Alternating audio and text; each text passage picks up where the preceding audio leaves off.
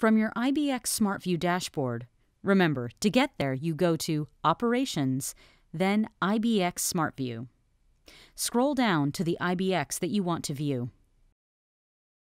Click the Environmental button. Within the Environmental section, you will find the current outside temperature and humidity conditions, the current IBX, cage, cabinet temperature and humidity conditions, and trends and tasks.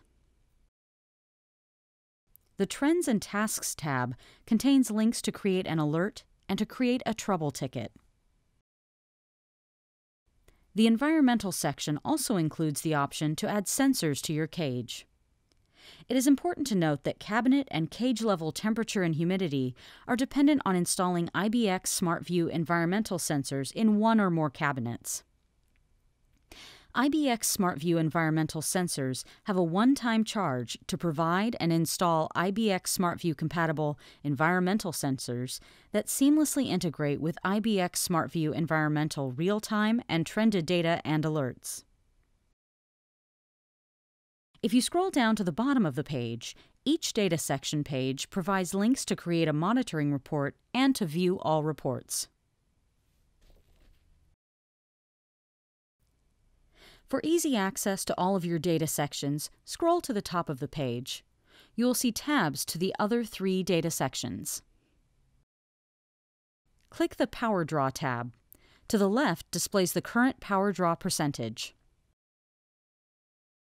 Scroll down to view detailed data based on your cage ID. Then scroll to the top to click the Mechanical tab. The center section includes the air handling, cooling, smoke and fire, and leak detection conditions. Scroll down to the Asset section to view additional details. Click the arrow to expand the asset details. Within each expanded field, you'll find the option to create a trouble ticket for that one specific asset. Finally, scroll back to the top and click the Electrical tab. The main section includes a dynamic one-line electrical hierarchy that provides details into active alarms, paths of power, and redundancy design.